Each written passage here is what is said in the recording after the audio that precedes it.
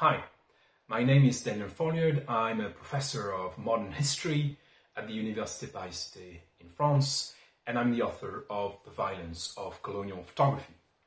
It is a book about late 19th century and early 20th century French and British visual records of colonial supremacy. More often than not, we hear sanitized narratives on our imperial past.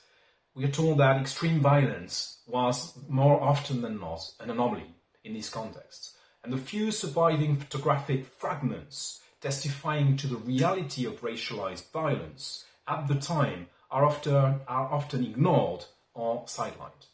The argument of my book is that these images are documents in spite of all, and that respectfully looking at them, not as mere illustrations, but as the very unstable material that they are, opens the possibility of a collective acknowledgement of the centrality of physical violence in European colonial expansion. This is also a book about how we can try to care for the histories of the diverse people figured in these disturbing photographs.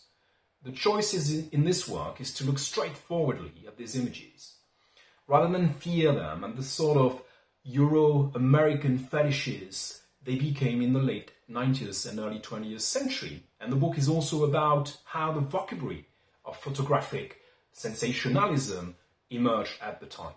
The choice is to welcome and harness the inescapable emotions they elicit in us in order to define these images with words and conversations, like those I had with colleagues and descendants from several affected communities documented in the book.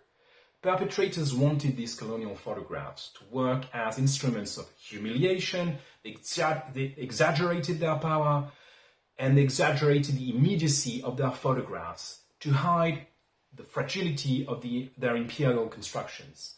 They often also whitewashed their histories. The violence of colonial photography offers to confront these erasures and the colonial sanctification of violence. This work is about taking the time and care to go beyond the initial shock and yet to keep its momentum, to go beyond our tendencies to passive consumption of human misery in order to engage with these difficult records and their inherent limitations as documents. So if you're interested in the history of photography, its relation to war, racial violence, and imperial histories, I think you will find this book rewarding and interesting. So do pick up a copy when the book is released mid-November.